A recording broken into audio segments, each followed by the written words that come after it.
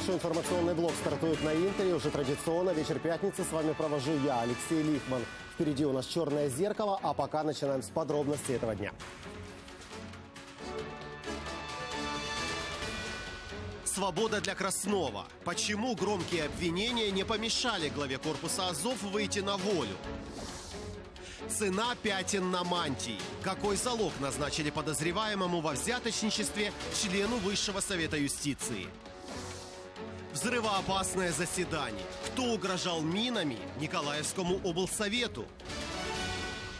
Подозреваемый в государственной измене, терроризме и сотрудничестве с российскими спецслужбами может шагать по стране с высоко поднятой головой. Судьи сегодня выписали вольную руководителю общественной организации «Азов Крым» Станиславу Краснову. Почему и что думают по этому поводу правоохранители, узнавали наши корреспонденты. Станислава Краснова отпустили сегодня ночью. У него истек срок содержания под стражей, установленный судом. Другой меры пресечения подозреваемому в терроризме и госизмене Азовцу не избрали. Суд должны были успеть до 24 часов вчерашнего дня рассмотреть вопрос продления срока содержания. Но прокуратура не подготовила с нашей точки зрения надлежащее ходатайство. И поэтому суд не рассмотрел вопрос о продлении срока. Мы попытались узнать в Генпрокуратуре, как получилось, что человека, подозреваемого в столь серьезных преступлениях, отпустили на свободу, но ответа пока не получили. А вот в СБУ убеждены, Краснов однозначно виновен. Чому суд так поступив? Задайте це питання суду. Чому Бориспільський суд не продовжив термін тримання під вартою громадянину Краснову, у якого вилучено 30 кг гексагену, тротилу, який планував серію терактів. І на моє глибоке переконання, вина Краснова доведена. Станислава Краснова и его жену Марию Шелест задержали 28 февраля этого года в Киевской области. Как утверждает в СБУ, после закладки тайника. В схроне нашли взрывчатку, противопехотные мины, гранаты и детонаторы для взрывных устройств. Кроме того, изъяли видеозапись регистратора машины Краснова. Так, считай, 800 метров. Протащить. Кот, переложи с рюкзака обратно в сумку. Да что пальцы горят. Ебать. Ты переложил? Это что-то какая-то там лежит непонятная, схоже на пластид. По информации СБУ, один из руководителей Азова сотрудничал с российскими спецслужбами и готовил серию терактов в Киеве. В телефоне азовца нашли запись разговора якобы с куратором из российского ГРУ Константином Голосковым. Если въебаться точно, это даже одна стенка этого квадрата нахуй вылетит. А там куча кабинетов, куча следаков, куча всякой. Слушай, это вообще замечательная тема была. Это хороший момент, причем мы сразу, как я тогда рассказывал, в нескольких местах. Там, потом возле Кабмина, возле Верховной Рады, возле администрации президента. По словам адвокатов, сейчас Краснов дома вместе со своей подругой Марией Шелест, которая находится под домашним арестом. На следующее заседание суда 3 октября пообещал прийти, но уточняет, если позволит здоровье. Андрей Кровец, Юрий Красновский. Подробности телеканал Интер. Еще одно неоднозначное решение Фемиды. Павла Гречковского, члена Высшего Совета юстиции, которого подозревают во взяточничестве, отпустили под залог. Такое решение вчера вечером вынес Печерский райсуд столицы. А сегодня Генпрокуратура провела обыски дома у Гречковского. Что нашли в ГПУ, не говорят, но адвокаты уверяют, что ничего. Защитники считают, дело сфабриковано, доказательств нет. То, что говорит э, генеральный прокурор Украины, а то, что он задержан за взятку, это не соответствует действительности, по крайней мере, подозрение ему предъявлено в э, покушении на мошенничество. При проведении обыска ничего не изъято. Сейчас дня все обыски закончатся. В то же время в ГПУ сегодня обнародовали видео показаний посредника Гречковского, арбитражного управляющего Минюста, которого задержали на горячем. По данным следствия, он должен был передать первую часть взятки своему патрону – 150 тысяч долларов. Вот что он рассказал. Я свою чергу е, проханням допомогти по цьому питанню звернувся до Чеківського Павла Миколаївича, який пообіцяв допомогти по даній справі. Гонорар, тобто плата, яку потрібно було внести, на яку він сказав, це 150, е, 500 тисяч доларів США. По етапам 150 тисяч доларів це перша інстанція, 150 тисяч друга і 200 тисяч останні. Вказані кошти були передані сьогодні мені адвокатом. Я повинен був їх передати Гречківському. Напомню, вчера Печерский суд столицы отпустил Гречковского под залог в 3 миллиона 700 тысяч гривен, хотя ГПУ требовала для него ареста или залога в 13 миллионов гривен. Но свобода ему далась по сути э, как стоимость час, в цену, как стоимость часов, которые носит член Высшего Совета юстиции. Под крики «Ганьба» в Крапивницком апелляционном суде оправдали судью Кировского райсуда Алексея Галагана, который пьяным убегал на своем внедорожнике от полицейских. Инцидент произошел в конце июля этого года. Результаты экспертизы, показания свидетелей, видео с нагрудных камер полицейских подтвердили то, что судья был пьян и пытался бежать от правоохранителей. Суд первой инстанции вину Галагана признал и оштрафовал, но вот апелляционный закрыл глаза на все доказательства и оправдал его. Елена Брынза об избирательной слепоте Фемиды. Пьяного судью Кировского райсуда Алексея Галагана патрульные остановили в конце июля этого года из-за того, что не работала подсветка номерных знаков. После предложения пройти тест на алкоголь водитель закрылся в машине и рванул с места, едва не покалечив командира полицейских.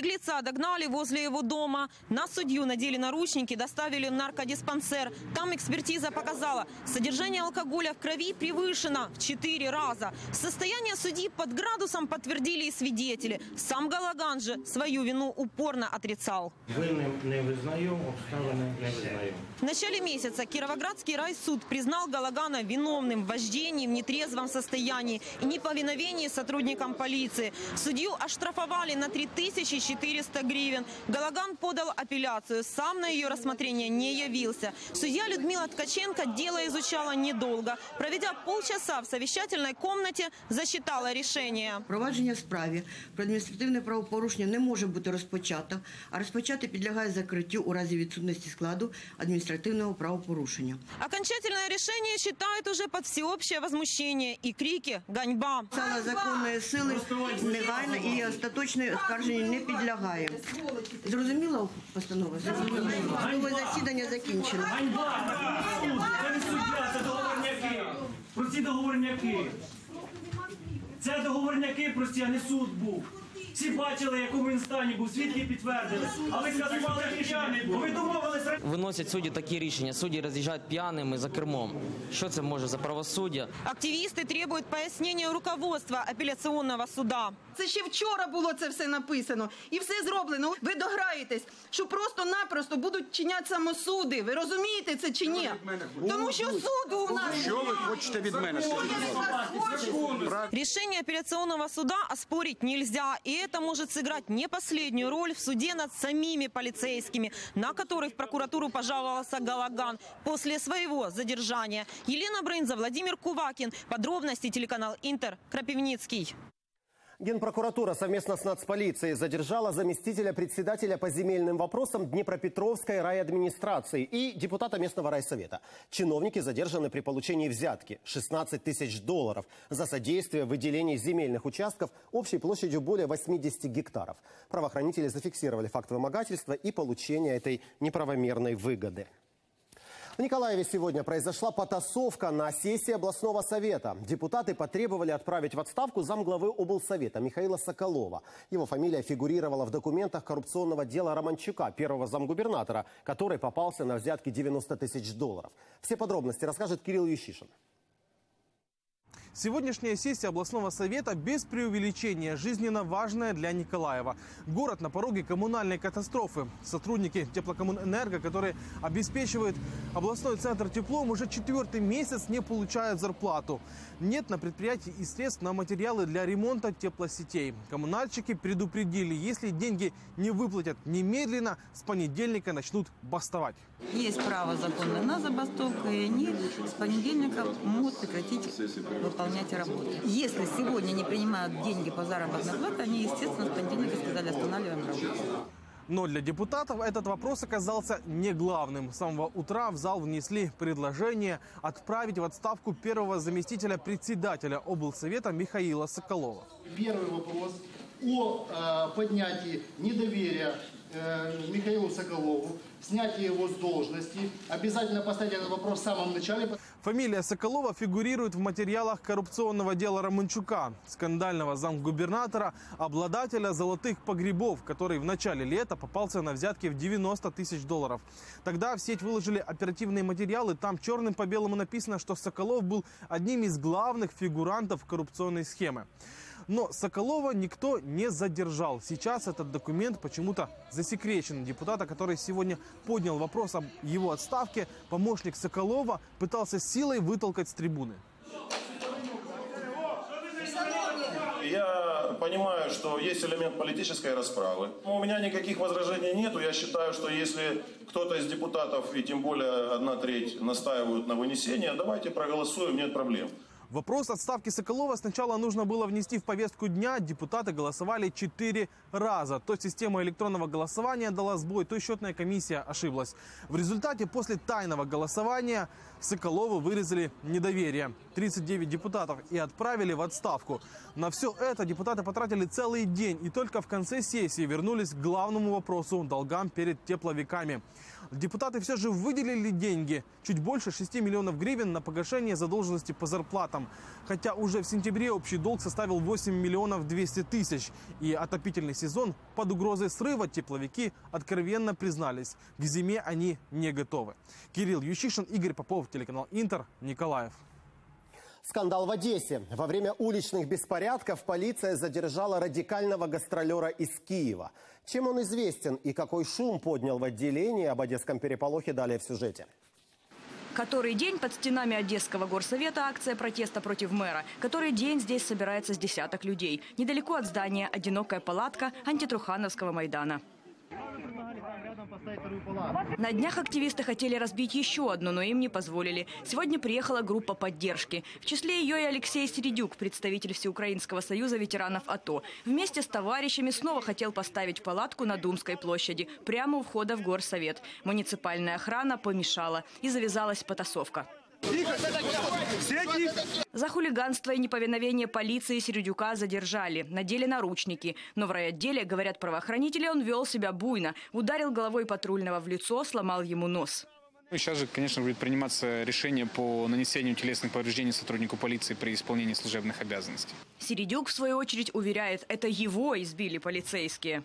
Сначала в машине начали бить, а потом вы, когда мы вышли с машины, дальше давай оскорблять. Середюка отправили в больницу, но никаких телесных повреждений врачи не нашли. И вернули его в райотдел. Позже выпустили. Интересно, что вместе с Середюком палатку устанавливали и другие гастролеры, атошники из Полтавской области. Они приехали в Одессу в среду. Подозрительный автобус задержали проверить документы у пассажиров. Приезжие возмутились.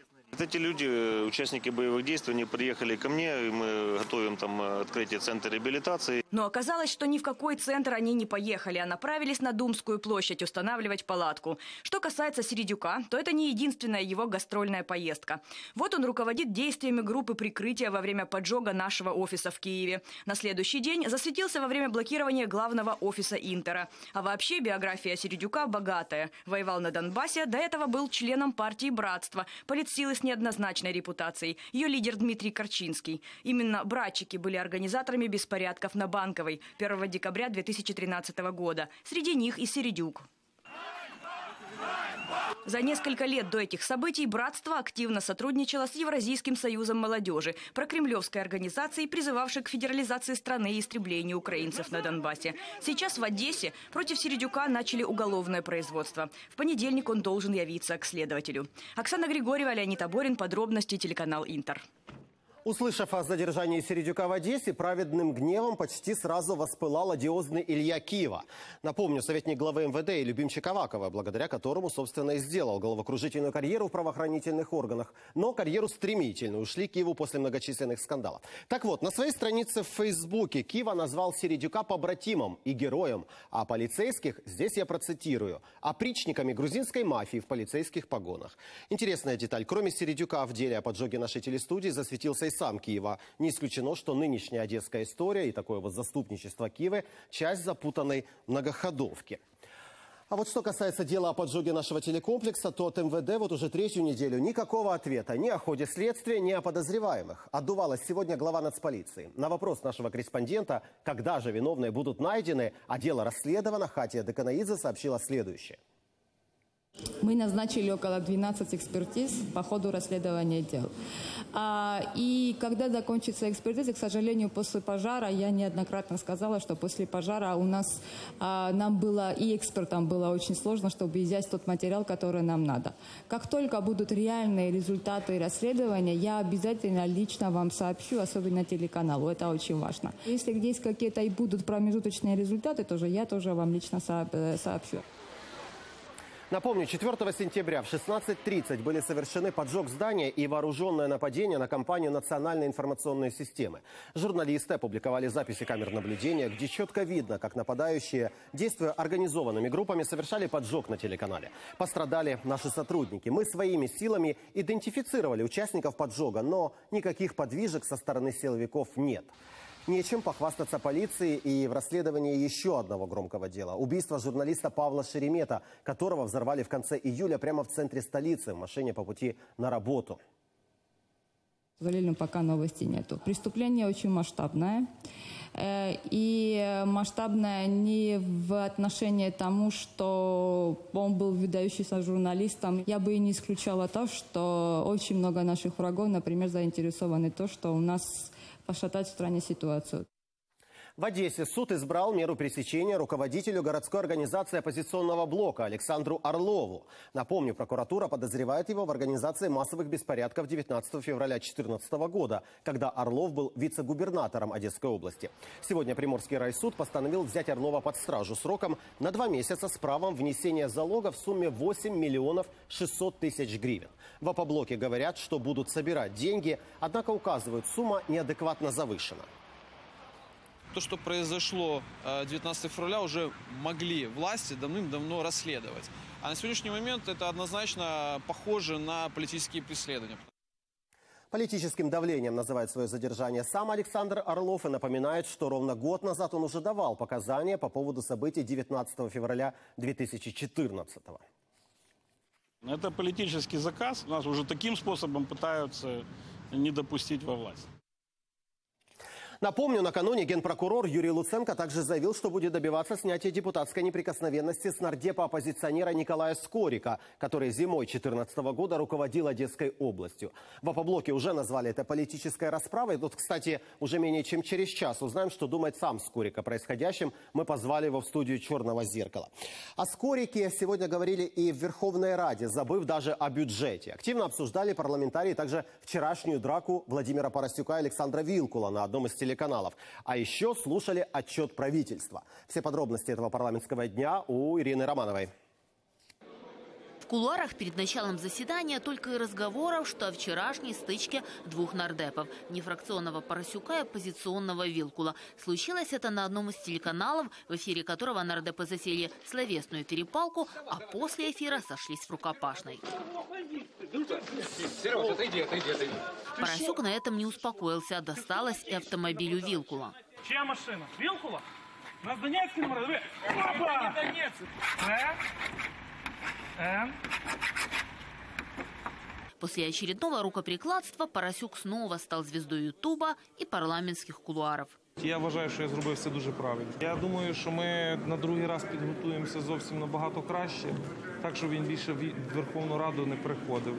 Александра Вилкула сегодня в Раде нет, но его коллеги по фракции уже подготовили заявление в полицию, Генпрокуратуру и регламентный комитет все действия, которые вчера происходили, попадают однозначно под уголовную ответственность со стороны депутата Поросюка. 346-я – это угроза жизни политическому деятелю. 129-я – угроза убийством. В центре внимания сегодня еще два нардепа. Оппозиционер Николай Скорик и депутат от БПП Алексей Гончаренко. Не успел генпрокурор объявить, что будет просить Раду лишить Скорика депутатской неприкосновенности, как добрый земляк с утра пораньше преподнес ему сухари. Я ему положил на рабочее место, чтобы он помнил о том, что к чему приближается. Основной целью э, было спровоцировать меня на какие-то действия нехорошие. Я бы постарался сдержаться, потому что я считаю, что это зал парламента, здание парламента, и уподобляться э, таким депутатам, как Поросюк, которые, как бы, если им что-то не нравится, пускают в ход руки, я считаю, что это неправильно. Работали нардепы сегодня недолго. Выслушали отчеты вице-премьера Вячеслава Кириленко, презентовавшего законопроект об ограничении доступа книг из России, и вице-премьера Иваны Климпуш-Цинцадзе, призвавшего депутатов активнее принимать евроинтеграционные законы. И задали несколько вопросов премьеру. Фронтовики все о своем одиозном и неоднократно похороненном законе о спецконфискации. Сьогодні ми не бачимо ні особливих зусиль уряду, даруйте, ні особливих зусиль цієї зали з приводу того, щоб вкрадені Януковичем гроші змогли нарешті працювати на українську армію і на український народ. Чи потрібні українському уряду і українському народу ці кошти? Уряд абсолютно чітко висловив свою позицію, проголосувавши і внесши е, закон, проект закону щодо спецконфіскації в стіну українського парламенту. Зберіться, проведіть робочу нараду. Интересовались нардепы еще, не будет ли сорван отопительный сезон. У нас під загрозою початок опалювального сезону. Сьогодні жодних об'єктивних причин зриву опалювального сезону немає. І якщо хтось не здатний якісно і вчасно підготувати, не дивлячись на проблеми, які є, свої міста або райони, або областя до опалювального сезону, він просто буде покараний за це. Отчитавшись перед парламентом, премьер и министры уходят, пустеет и сессионный зал.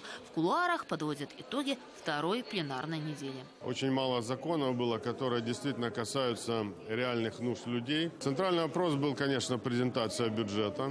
Мы готовим альтернативные предложения, до 1 октября по Конституции они будут направлены в правительство. Впрочем, к обсуждению бюджета нардепы вернутся только с 4 октября. На следующей неделе у них встреча с избирателями в округах.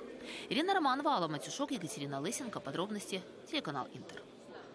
И бюджетные страсти, не развалят ли они коалицию, и все вопросы, связанные с законом о спецконфискации, обсудим уже совсем скоро в программе «Черное зеркало». Старт 21.00, напоминаю.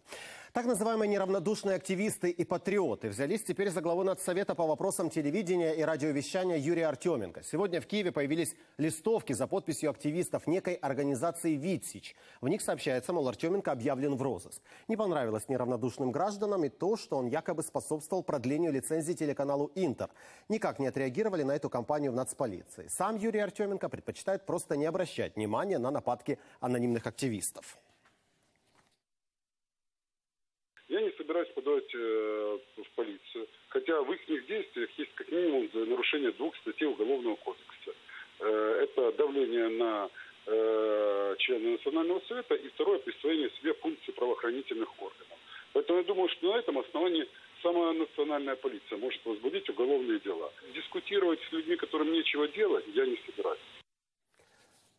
Нидерланды не смогут сорвать соглашение об ассоциации между Украиной и Европейским Союзом. Документ будет действовать вне зависимости от того, ратифицируют его голландцы или нет. Об этом заявил посол Украины в Нидерландах Александр Горин в комментарии одному из украинских телеканалов. Посол подчеркнул, вопросами ратификации занимается парламент, а не правительство, как ранее сообщали СМИ. А слова премьера страны Марка Рютте, по мнению Горина, неверно истолковали. Рютте имел в виду, что пока не может сделать какое-либо заявление по поводу ратификации, потому что он сторонник Украины, его стратегическая цель – это реализация соглашения.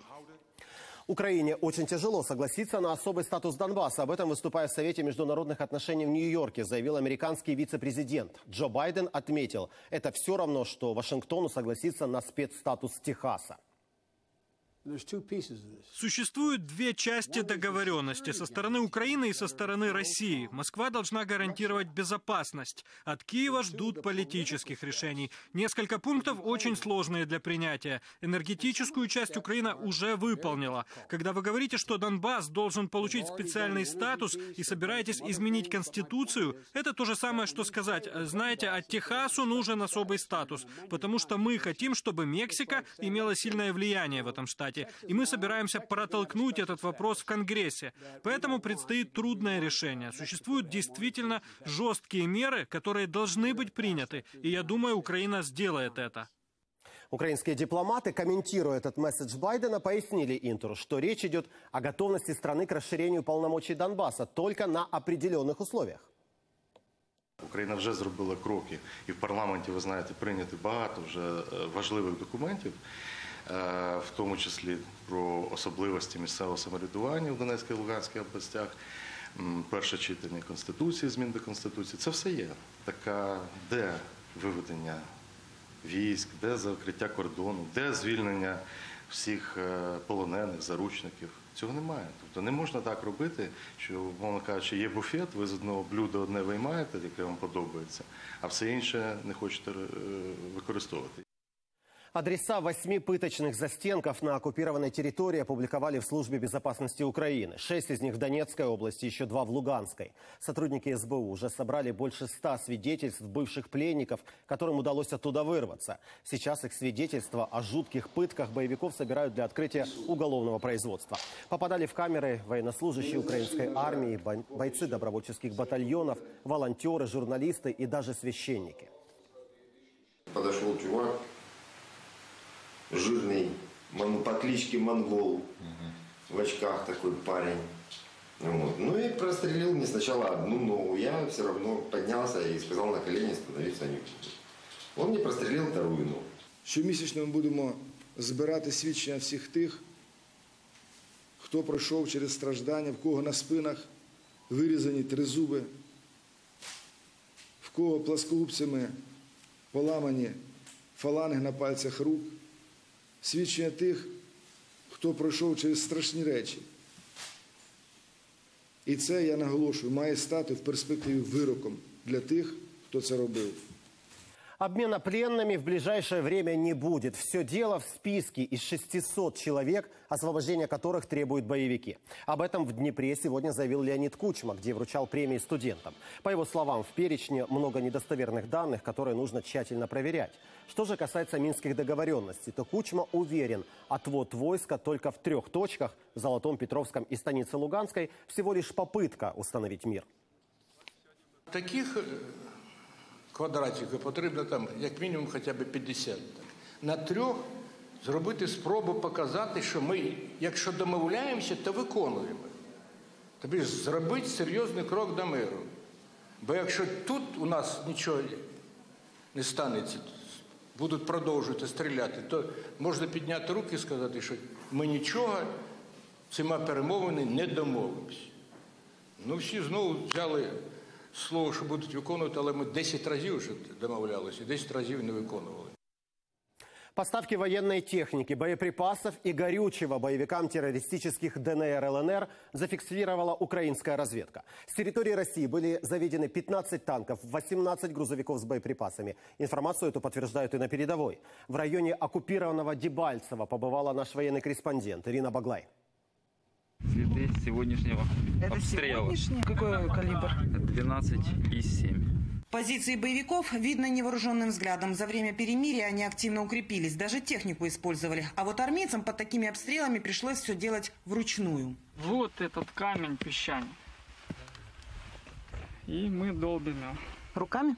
Вот э, кайло, это основной инструмент. Другого выхода нету, техника сюда не заедет. Инженерная техника противника уехала, ее место заняла другая. Прошлой ночью было заведено 9 КАМАЗов тентованных, вот, отчетливо было видно, что это было э, личный состав, то есть, ну, понятно, що це була їхня ротація. Наскільки я знаю, то туди стягуються там великі сили, там декілька тисяч чоловік, там багато танків, якісь там штурмові підрозділи. Завезли и новые боеприпасы. Командир показывает хвостовик от недавно разорвавшейся мины. Это видно новые разработки их, то есть у нас на Украине таких нету. Вот. Э, Отчетливо видно, что алюминиевый хвостовик 120-го, э, ну, 120 мины.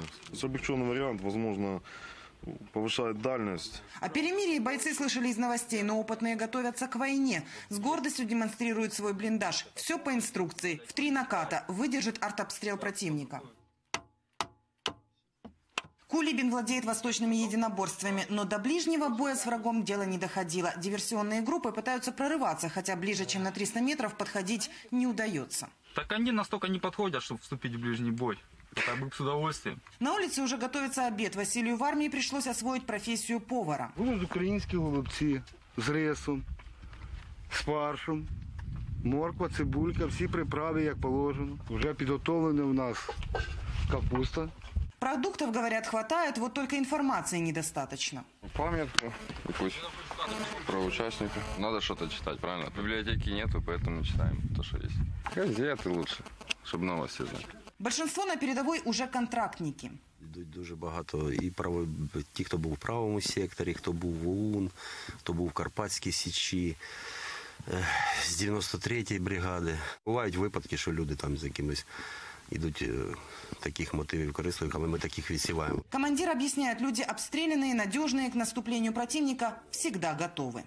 Ирина Баглай, Андрей Костюк, Анатолий Воробей из Донецкой области. Подробности телеканал Интер. Продолжаем подробности. Вот что узнаете из второй части выпуска. Смертельный градус. В Харьковской области массовое отравление суррогатным алкоголем. Ценовое уравнение. Чем обернется отмена госрегулирования стоимости социальных продуктов? В Харьковской области 11 человек отравились суррогатным алкоголем и умерли. Еще четверо сейчас находятся в больницах. Все они жители небольших сел в разных районах области. Водку покупали на разлив в местных магазинах, причем втрое дешевле, чем спиртное с акцизными марками. Хозяйку торговых точек уже задержали. Где брала поддельный алкоголь, женщина не говорит. Грозит ей до 10 лет тюрьмы. Правоохранители ищут, куда еще могли отправить суррогат. Магазин, який подозрівається, де із'ятий сурогатний алкоголь, завезено днів три назад було. Увесь алкоголь, який був завезений, е, із'ятий. 70 літрів було сурогата цього. Питання номер один для слідства: звідкиля взявся цей алкоголь, як багато його було, чи може він чи потрапив він у інші райони області. Останутся ли на полках социальные продукты? Кабмин с 1 октября отменяет госрегулирование цен. Пока на три месяца в рамках пилотного проекта. Чего ждут от такого шага в правительстве и чем это может обернуться для украинцев? Мнение собирала Анна Каменева. Хлеб, крупы, макароны, молочка, яйца, мясо. Эти продукты входят в перечень социальных, на которые распространяется госрегулирование. То есть государство разрешает производителям и торговым сетям ставить наценку на эти товары максимум 15%. С октября такой максимум убирают. Люди негодуют и так еле сводят концы с концами. Раньше-то цены, как бы сказать, везде одинаковые были, стабильные. В любом магазине одна и та же цена, куда бы ни пошел. А сейчас в одном магазине такая цена, в другом такая. И везде по-разному. Кто как хочет. А сейчас вообще, наверное, будет беспредел какой-то. От, наприклад, в мене 1200 пенсія, як я можу? І за квартиру, а то не вистачає вже. Отаке на, на хліб, на молоко та й все. Ну і хлібчик зараз подорожав. Батон, якщо я брала по 7,75, тепер 8 на 25 копійок, але там 25, там 25 і е, воно сказується, чувствується, особливо пенсіонерам. В Минэкономике уверяют, отмену государственного надзора никто не почувствует. Система уже давно не работает так, как надо. Производители научились ее обходить. К примеру, делают молоко не 2,5% жирности, а 2,6%. И этот товар уже не подпадает под категорию социальных. Свое решение в Кабмине объясняют борьбой с коррупцией и бюрократией. И настаивают, из-за отмены цены на соцпродукты не вырастут. Аналітика показує, що там, де ці ціни регулюються, вони є вищими, ніж в тих областях, де ціни не регулюються. Я вважаю, що це одна ще була кормушка для корупціоно- корупційних чиновників, які ходили по мережам і тільки робили те, щоб вимагати з них хабарі. Якщо і будуть якісь зростання, це те- тільки від того, що будуть можливо сезонні коливання. Экономисты уверены в вином. Трошки ціни підуть вгору. Зростання буде незначним. Чому? Тому що попит дуже слабкий. У людей нема грошей, і тому думаю, найдешевший хліб, найдешевше молоко ну, може зрости максимум на 10-15%. Для бідних людей це буде подорожчання і навіть суттєве подорожчання. В Минэкономике успокаивают, за злоупотреблениями торговых сетей будет следить антимонопольный комитет. Никуда не уходит антимонопольное законодательство, которое регулирует и монополистов. Там в некоторых случаях, например, э, это хлебные предприятия, которые крупные э, в регионах, э, или там продолжает регулироваться вопросы ценового сговора. У нас антимонопольный комитет. Он просто не выполняет те функции, которые на него должны возлагаться после данной отмены постановления Кабинета министров. Некоторые сети рады тому, что они сейчас действительно могут отпустить и поставить наценку в 30-40%. Пока что цены отпускают вольное плавание на три месяца. В это время будут мониторить ситуацию на рынке и окончательное решение отменить, оставить или ограничить перечень регулируемых государством продуктов обещают принять до февраля. А пока украинцам, видимо, придется надеяться на добросовестность предпринимателей или, как в квесте, искать по всему городу, где купить дешевле. Анна Каменева, Ольга Поломарюк, Никита Исайко. Подробности телеканал Интер. Во Львове снова отличились патрульные. На этот раз они сбили женщину прямо на пешеходном переходе. Видео инцидента выложили свидетели в социальной группе «Моя нова полиция Львив». Женщина не пострадала, во всяком случае от вызова скорая отказалась. Своей вины полицейские не признают. Утверждают, светофор не работал, автомобиль выполнял поворот с включенными габаритами и проблесковыми маячками. Патрульний починає рух. Той момент з правої сторони виходить жінка автоматично перед самим автомобілем. Там чітко видно, що жінка не рухалась там пів метра, метр перед автомобілем. Подрались не на шутку. В Киеве утром водитель джипа избил полицейского. Правоохранитель остановил внедорожник, который двигался по полосе для общественного транспорта, и попросил предъявить документы. Что произошло далее? У водителя и полицейского разные версии, но в результате оба получили травмы.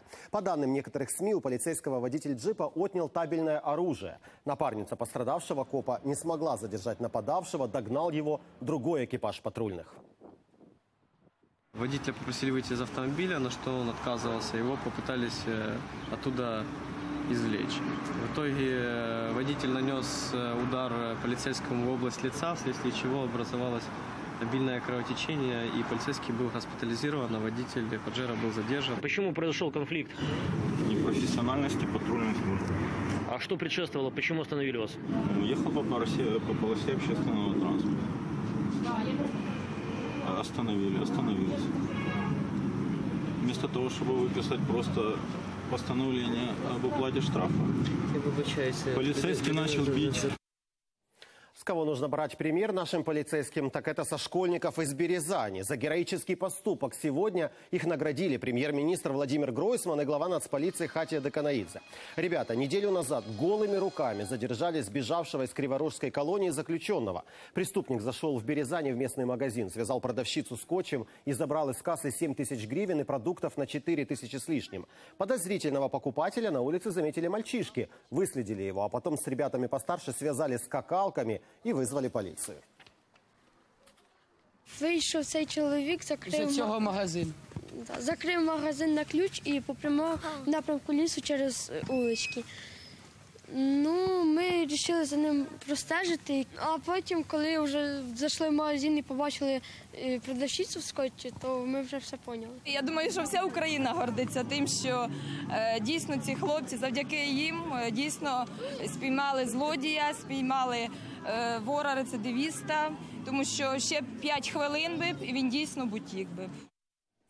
Единый госреестр юридических и физических лиц не работал почти два дня. Об этом на своей странице в Фейсбуке сообщил замминистра юстиции Сергей Петухов. Всему виной, по его словам, хакерские атаки на сайт, где размещаются данные. Мы обратились за комментариями, не пострадала ли за это время база данных компаний и предпринимателей. Госпредприятие «Национальная информационная система», которая обслуживает единый реестр, заверили, что сайт не взломан.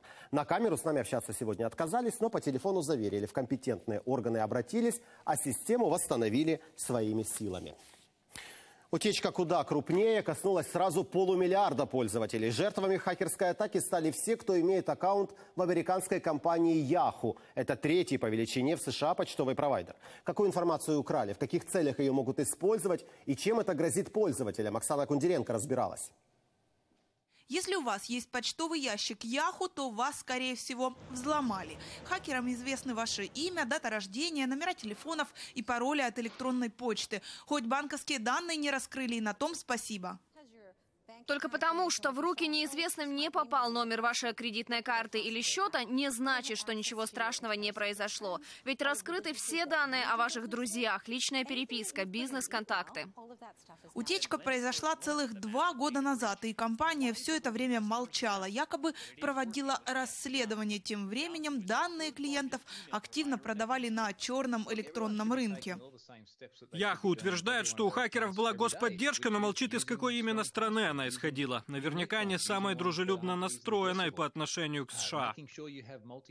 Лучшие хакеры в мире российские, доказано на практике. Команда «Нарядные медведи» давеча взломала базу данных Всемирного антидопингового агентства. А теперь, возможно, и сотрудников Белого дома. В сеть слили копию паспорта Мишель Обамы и данные о поездках Хиллари Клинтона и Джо Байдена. В Вашингтоне инцидент расследуют на самом высшем уровне.